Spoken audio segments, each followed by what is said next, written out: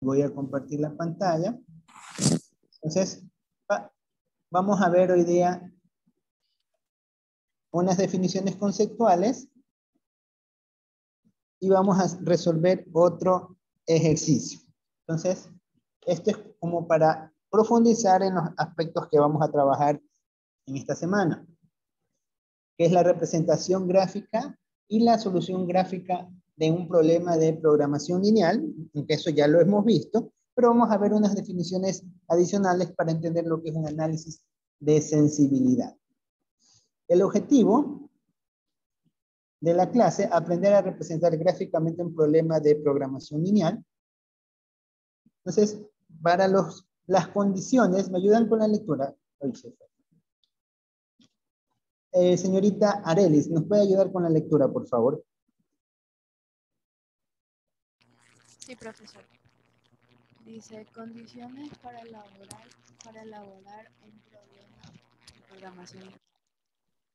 Que los recursos sean limitados, que haya un objetivo explícito, que sea una condición lineal, que haya homogeneidad y que sea divisible. ¿Ya? Se te escuchó bien bajito, pero sí se te escuchó. Bueno, entonces, estas son las condiciones que nosotros debemos de tener en cuenta cuando ya vamos a trabajar con un problema de programación eh, lineal. Primero que tener en cuenta que los recursos son limitados, debe haber un objetivo explícito eh, que puede, debe ser o maximizar algo o minimizar algo. Entonces, eso es indispensable para plantear un problema de programación lineal tiene que haber una condición lineal como tal, es decir, debe haber algo que se evalúe. Eh, en este caso, vimos en el ejemplo, teníamos dos variables de dos tipos de juegos, uno juego de damas y el otro era el juego de hockey.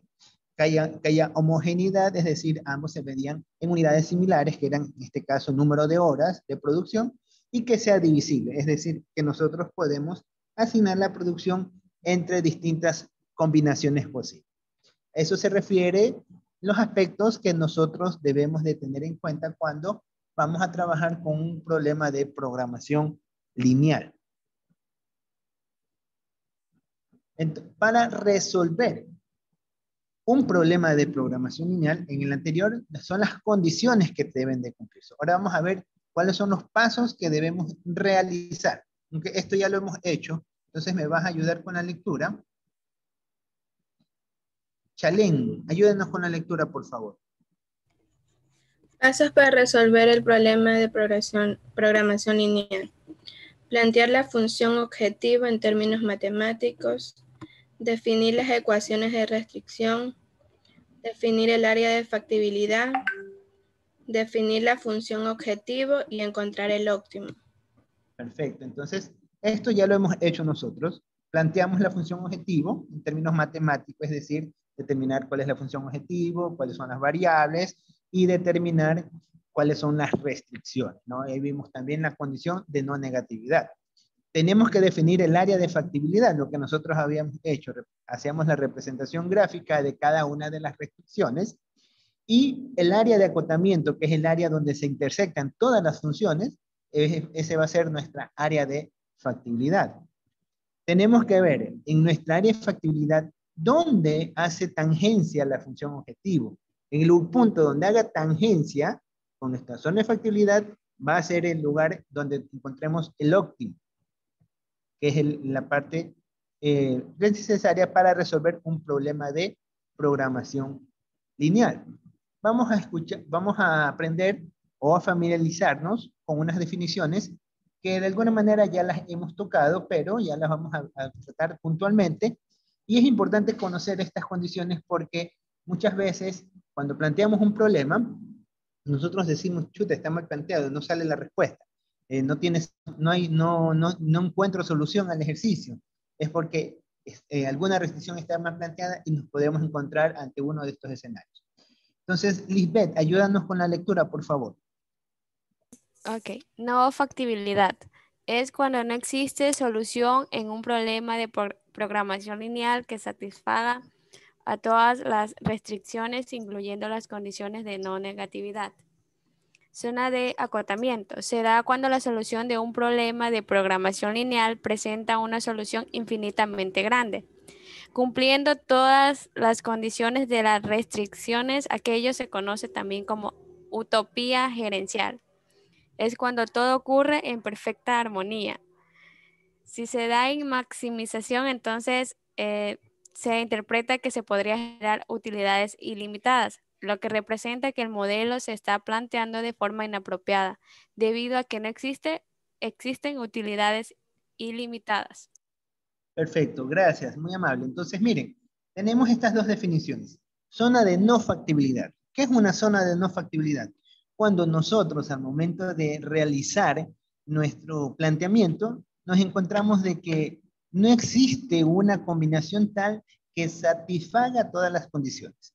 Cuando se da ese escenario, lo que nosotros tenemos que hacer, replantearnos el problema, a ver qué es lo que estaría fallando. De repente una condición está mal planteado su signo, o de repente está, está mal interpretado la expresión del componente, o de, repente los recursos, o algún parámetro de, está, está sobreestimado sobre, o, subestimado, no sé. Habría que replantear. Cuando tenemos zona de no factibilidad es cuando no existe una solución alguna, no existe solución al modelo.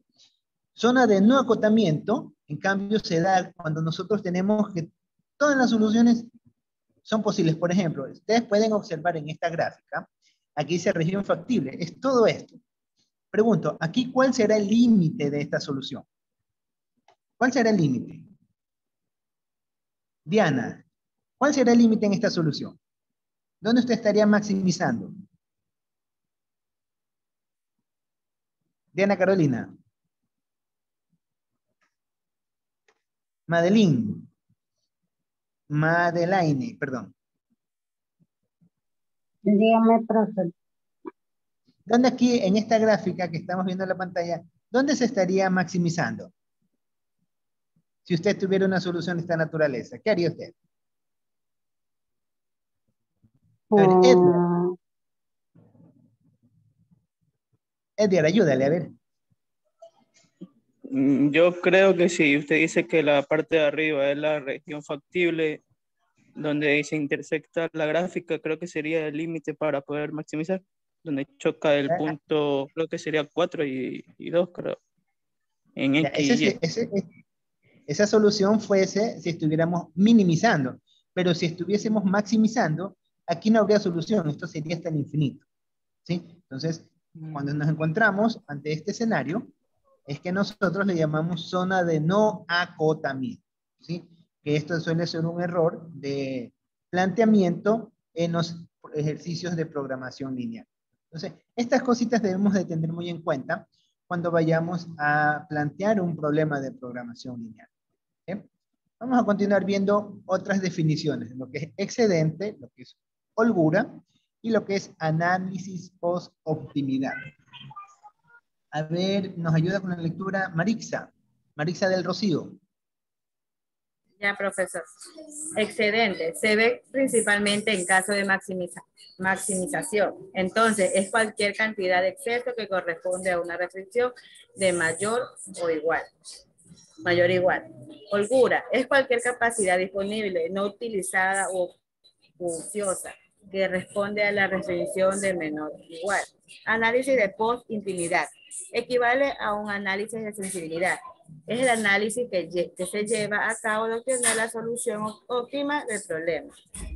Perfecto. Entonces, miren, aquí tenemos una pista de cuándo podríamos estar utilizando el mayor que y cuándo podemos utilizar el menor que, ¿no?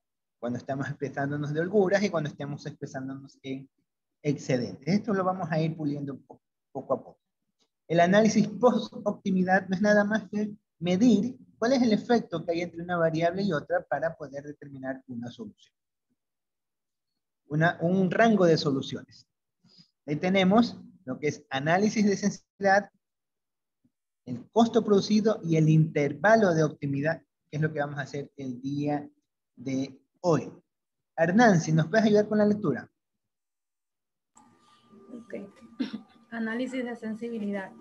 Es la evaluación de la forma en que los cambios de un problema de programación lineal afecta su solución óptima. Costo productivo. Monto que deberá mejorar un coeficiente de la función objetivo.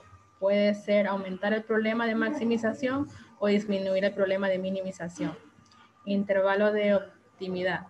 Es el rango de valores sobre el que puede variar un coeficiente en la función objetivo sin ocasionar cambios en las variables de decisión en la solución óptima. Perfecto, muchas gracias. Entonces, miren, eso vamos a hacer el día de hoy. Vamos a aprender a calcular el análisis de sensibilidad. Es decir, ¿qué pasaría si hay alguna variación en alguno de los recursos? ¿Qué va a suceder con el problema? ¿Qué va a suceder con el ejercicio? Eh, vamos a ver, aprender a calcular los intervalos de optimidad, es decir, cuánto es lo que pueden variar cada uno de mis recursos sin que me afecte mi utilidad. O dicho de otra manera, cuánto yo podría reemplazar la producción de un artículo por otra sin que se afecte mi utilidad. Entonces, eso vamos a aprender a hacer el día de hoy. Se llama análisis de sensibilidad. Vamos a manejar una definición que se llama el precio dual y otra definición que se llama el precio sombra. Vamos a ver qué es lo mismo, solamente que lo que le cambia el sentido es un signo. Entonces, eh, Elaine, ayúdanos con la, con la lectura, por favor. Elaine Maldonado.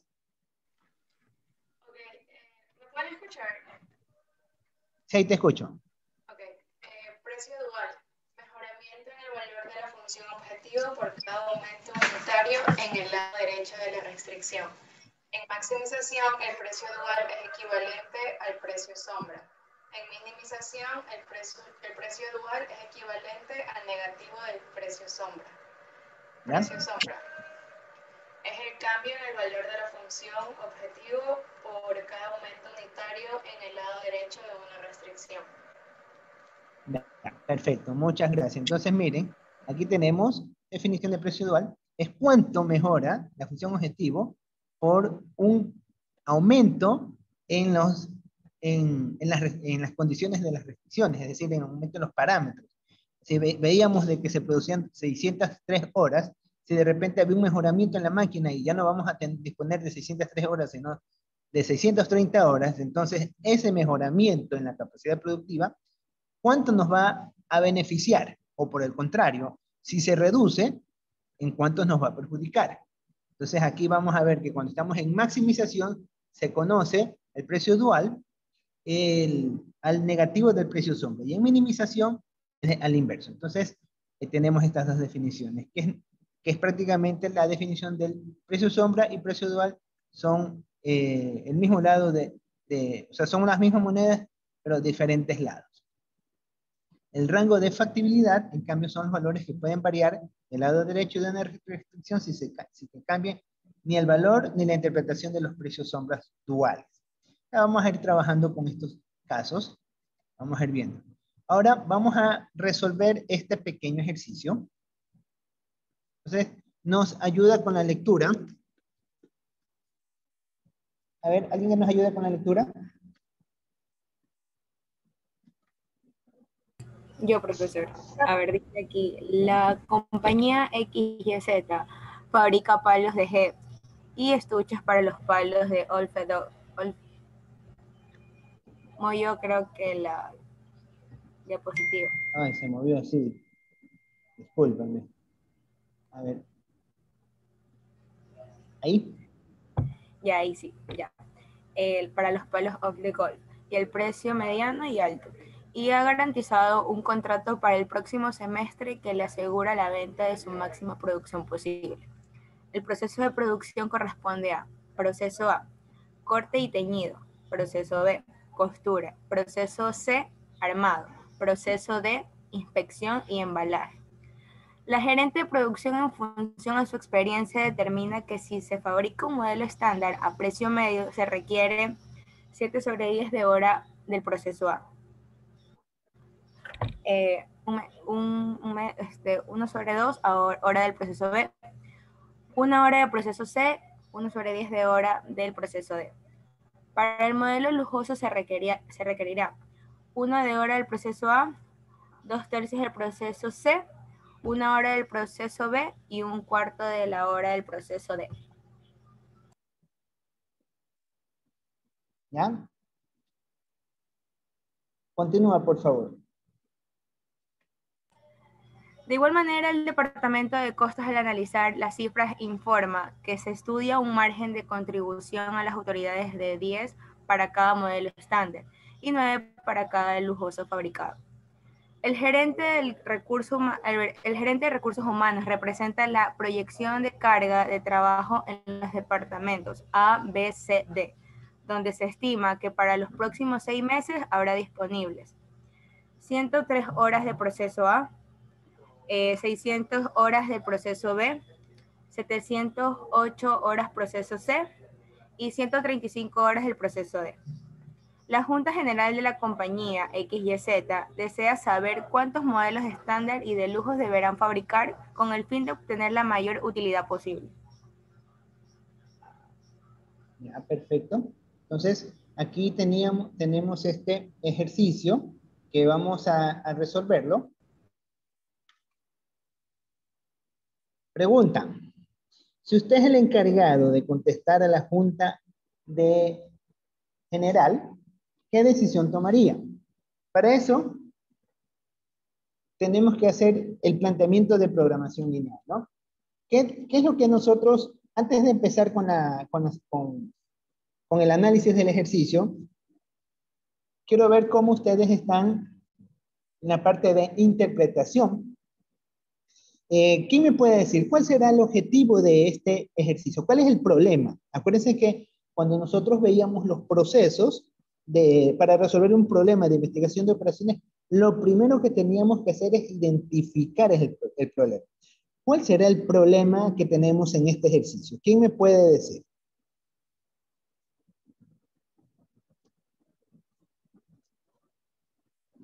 ¿Cuál será el... Pues, en sí dice abajo, la Junta General de la compañía XYZ desea saber cuántos modelos estándar y de lujo deberán fabricar con el fin de, de obtener la mayor utilidad posible. Quiere decir que quiere, la, la función es maximizar. Estamos ante un problema de maximización. Correcto. Entonces, es lo primerito que nosotros tenemos que hacer cuando planteamos un problema de programación lineal. Lo, lo segundo que tenemos que hacer, ¿qué es?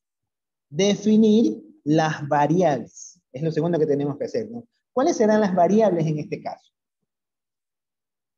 ¿Cuáles serán las variables? Las variables, tú las acabaste de mencionar, eh, van a ser los productos que se quieren. Son dos productos, ¿no? Eh, son, creo que son modelos estándar y modelos lujosos de, de, un producto en particular. Entonces tenemos que, queremos maximizar. De ahí tenemos un poco de condiciones que son las garantías para poder realizar el, el, el, el la función objetivo. Entonces, vamos a hacer el resolver el ejercicio. Entonces, lo primero que tenemos que, es, que hacer es calcular la función objetivo. Lo segundo, definir las variables. Obviamente, para poder eh, calcular la función objetivo, debemos de plantear el variables. Entonces, A y B son uno mismo. Establecer las restricciones, vamos a ver cómo se conforman las restricciones. Acuérdense que a cada restricción hay que poner un nombre para poder identificar, no se las debe dejar expresadas únicamente en términos de... Sí. No, no, hay que dejarlas únicamente en términos de ecuación, sino hay que darle un nombre. Acuérdense que en economía, cada ecuación tiene un significado. toda letra, todo número tiene un significado. No hay nada que quede al, escondido. De ahí lo, siguiente, como estamos trabajando bajo el método gráfico, es calcular el área de factibilidad, que no es otra cosa sino que realizar la gráfica. que hacemos la gráfica, vemos cuáles son las zonas en donde acotan todas las curvas y esa es nuestra zona de, factibilidad. Luego vemos la, dónde hace tangencia la, solución óptima. Por lo general nos vamos a las soluciones esquinas. La solución esquina que esté más alejada es la que va a del origen, es la que va a tener la mejor, eh, la mejor solución. Entonces, nosotros tenemos que hacer el sistema de ecuaciones para poder calcular. Y finalmente, un análisis de sensibilidad. Eso vamos a hacer el día de hoy. Entonces, comenzamos. ¿Cómo quedaría la función objetivo? ¿Qué, ¿Qué, es lo que nos mencionaba el ejercicio? Vamos a retomar acá. Aquí teníamos de que se va a producir palos de golf y estuches de palos de golf a un precio mediano y alto que y han conseguido, eh, conseguido garantizar un contrato que le permite generar toda la producción. Entonces nos comienzan a dar los requerimientos técnicos de cada uno y nos dice que el costo, o sea, ya el departamento de producción ya ha establecido cuál es el producto final que nos va a proveer, dice que son modelos estándar y modelos lujosos. Entonces nosotros prácticamente vamos a tener dos productos, que se llaman los, juegos del golf, ¿no? Los palos de golf como juego de golf.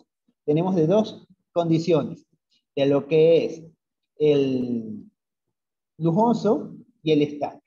Entonces vemos que 10 por cada modelo estándar y 9, 9 por cada modelo lujoso. O sea, nosotros ganamos más vendiendo el modelo estándar que vendiendo el modelo lujoso. Y con eso nos da las condiciones. Entonces, la función objetivo no, no va a ser nada más que maximizar el ingreso. En este caso, el ingreso es precio por cantidad.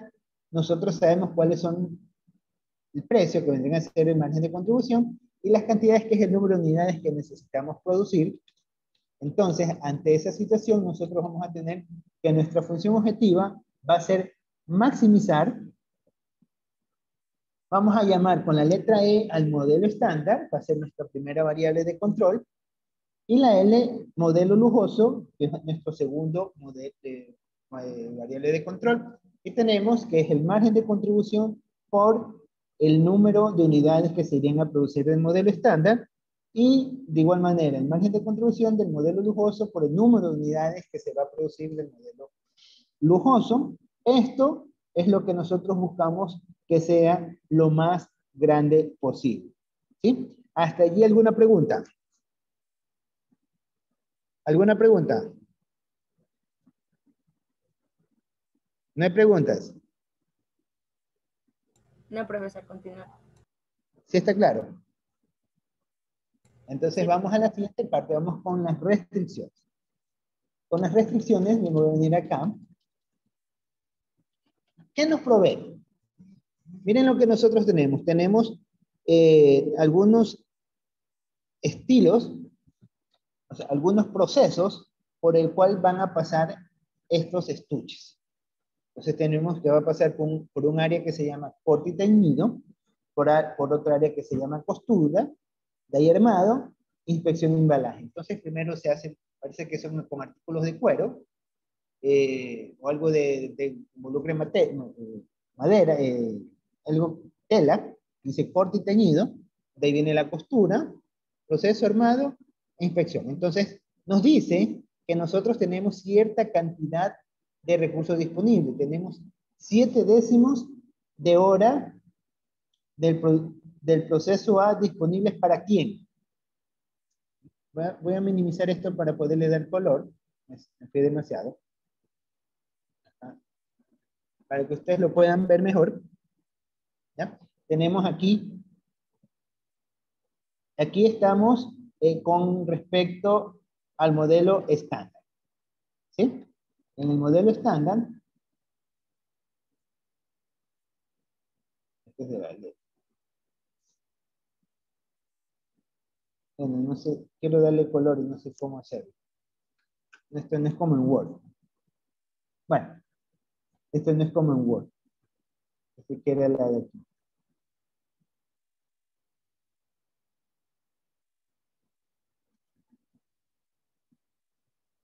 No. No, no, sé cómo hacerlo. Bueno, entonces no importa. No importa, te, le doy, lo maximizo menos. Entonces tenemos que para la producción estándar tenemos siete décimos del proceso A un medio del proceso B, una hora del proceso C y un décimo de hora del proceso D. Ahora me preguntan, ¿cómo plantearíamos la restricción? ¿Quién me da alguna idea? ¿Quién- ¿Cómo sería el planteamiento de la restricción? ¿O cómo quedarían ordenadas las restricciones? Sería por medio de una combinación mediante, como dice, el enfoque de, uno dice proceso A, cada parte del proceso A hay que combinarlo, la restricción, y ahí sí sucesivamente para proceso B C y D. O sea, nosotros tendríamos en total cuatro restricciones, ¿no es cierto? Exacto. Cuatro restricciones, porque es una por cada máquina. Entonces sería la primera restricción lo que hace la máquina A. La máquina A va a producir siete décimos unidades del producto E y una hora del producto L. Entonces, nuestra, y esta sería la capacidad productiva de la máquina A. Entonces, aquí nosotros estableceríamos, corte teñido, diríamos que son 7 décimos de E más L, que no debe ser, que no debe exceder al tiempo de producción que nos da el área de recursos humanos. Recursos humanos, acuérdense que nos dicen que nosotros tenemos una cantidad máxima de trabajo, que son 603 horas. Entonces, tenemos acá, va a ser 603 horas. Y le ponemos el signo menor igual porque no debe de exceder esta cantidad. No debe ser superior a las 603 horas. De igual manera lo vamos a hacer para costura. Tenemos en costura 600 horas, 708 para proceso y 135 para el proceso D. Entonces, para la segunda restricción vendría a ser media hora de E más una hora de L menor o igual, menor o igual, yo me pasé, menor o igual a 600.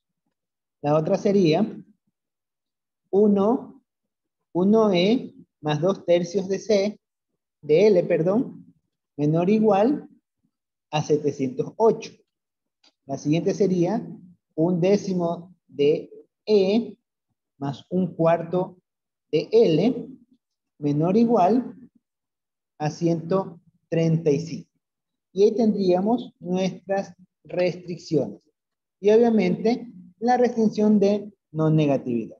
¿Sí? Ahí tendríamos armado nuestro problema de programación lineal. Es decir, ya tendríamos establecido hasta literal C.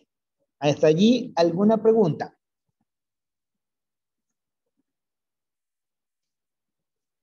Profesor, ¿Alguna pregunta?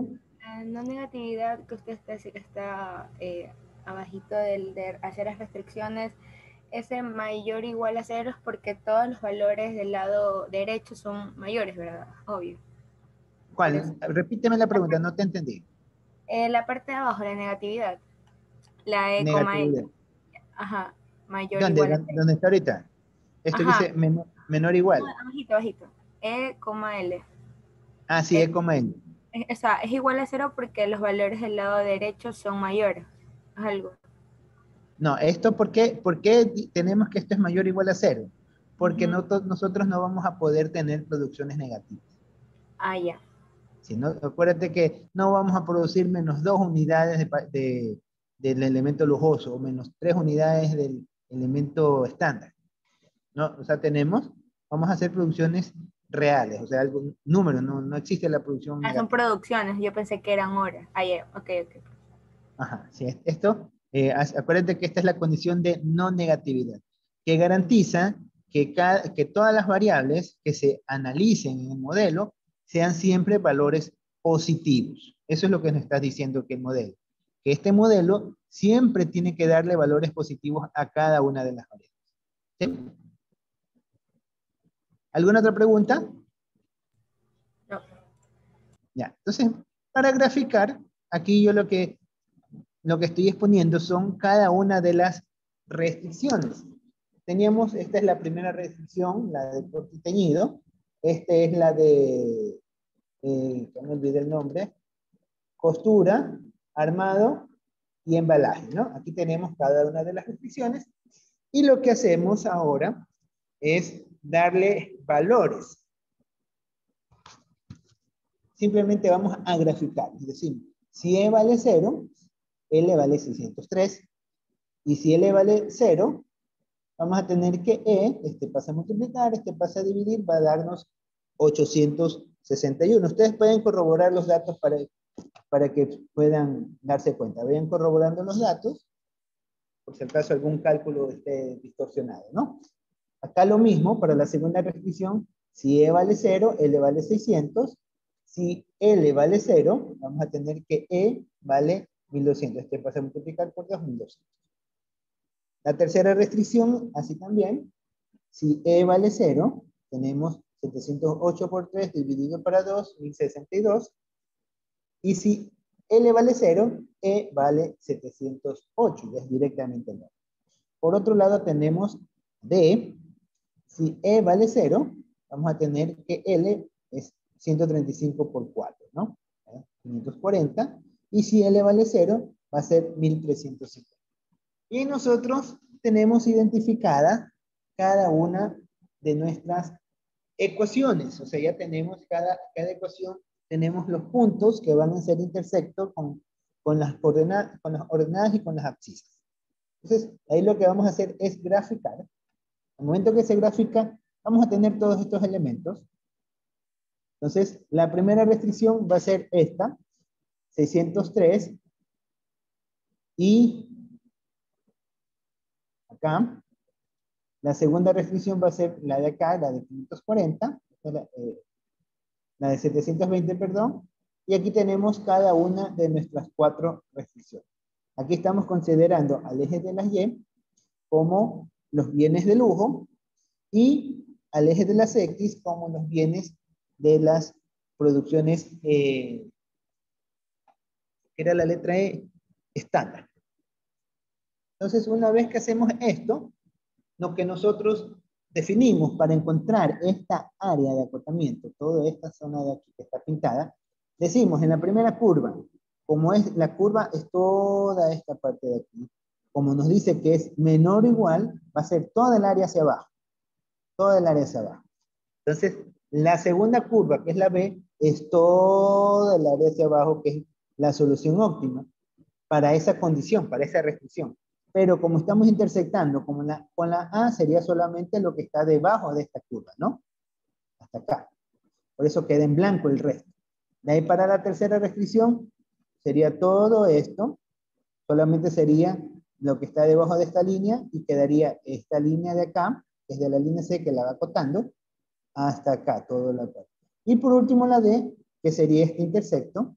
Ahí tenemos nosotros nuestra zona de acotamiento, que va a tener 1, 2, 3, 4 soluciones de esquina. Contando también en la de acá, serían 5 soluciones de esquina.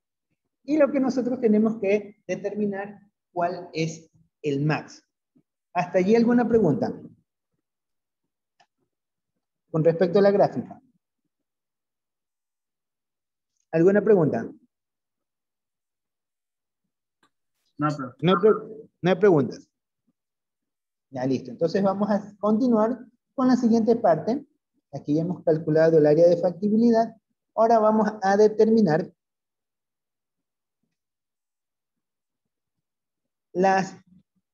los puntos de intersección. Entonces nosotros, ¿cuáles eran nuestros puntos de intersección? El 0, 0 no nos interesa porque sabemos que la producción del valor de Z va a ser 0.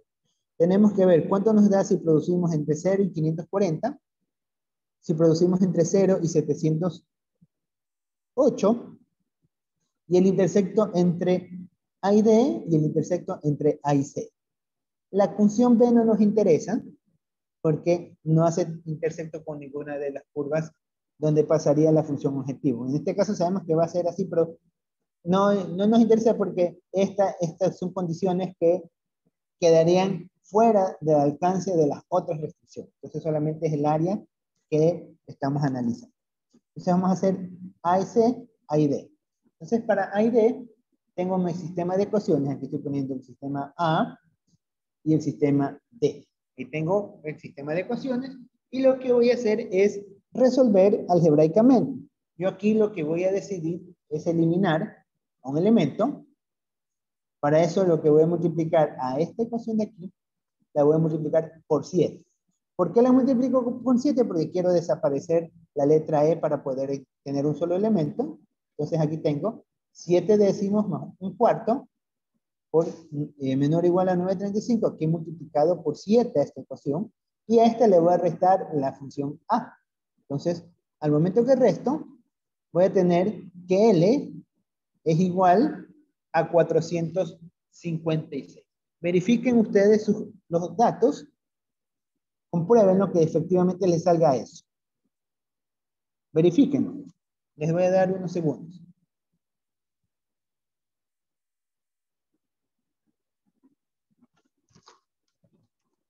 ¿Les dio?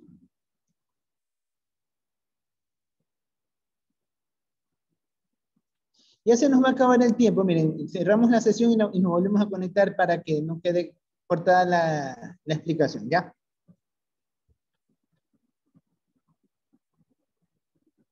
Voy a cerrar la sesión y la voy a volver a iniciar.